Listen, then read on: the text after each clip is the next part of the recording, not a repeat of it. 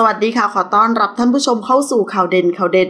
ตันพัศกรนาทีจุดเริ่มต้นติดลบ จนรวยหมื่นล้าน แม้ไม่ได้เริ่มต้นร่ำรวยเหมือนกับคนอื่นๆ ที่เริ่มทำธุรกิจจากหลักล้าน แต่ก็สามารถพาตัวเองมาถึงจุดที่เรียกว่ามหาเศรษฐีได้เลยทีเดียวสำหรับตันพัสกรนาทีคุณตันเกิดในครอบครัวชาวไทย เชื้อสายจีน ครอบครัวมีฐานะปานกลาง โดยคุณพ่ออพยพและมาตั้งถิ่นฐาน ที่จังหวัดชลบุรี ในด้านของการศึกษาคุณตัน จบมัธยมศึกษาปีที่ 3 และเริ่มทำงานเป็นพนักงานแบกของ โดยได้ค่าแรงไม่ถึง 1,000 บาท ต่อมาก็ได้หันมาเปิดเป็นแผงหนังสือของตนเองที่จังหวัดชลบุรี และเริ่มขยายกิจการไปซื้อห้องแถว จนกลายเป็นเจ้าของธุรกิจอสังหาริมทรัพย์ จุดเริ่มต้นของโออิชิก่อนที่จะมาเป็นอิชิตันในทุกวันนี้ ในปี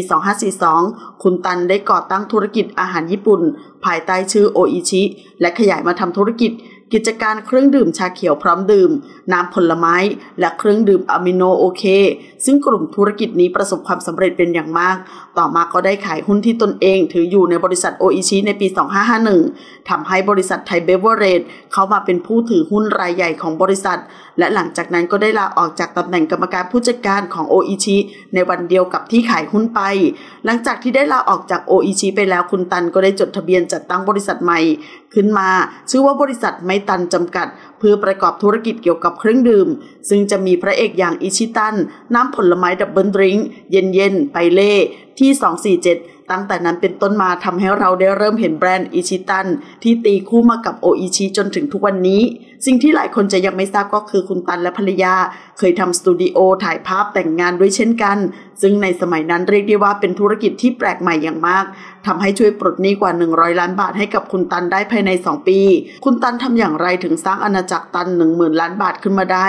ชีวิตนี้ไม่มีทางตันเป็นสโลแกนประจำตัวของคุณตัน หากสังเกตให้ดี ได้ฟังมาตั้งแต่ตอนแรกคุณตันไม่เคยหยุดอยู่เพียงแค่ธุรกิจกิจการชาเขียวอย่างที่ทุกคนรู้จักสำหรับธุรกิจอื่น ๆ ที่คุณตันทำอยู่ และเคยทำไม่ว่าจะเป็นธุรกิจอสังหาริมทรัพย์ ร้านอาหารญี่ปุ่น ร้านกาแฟ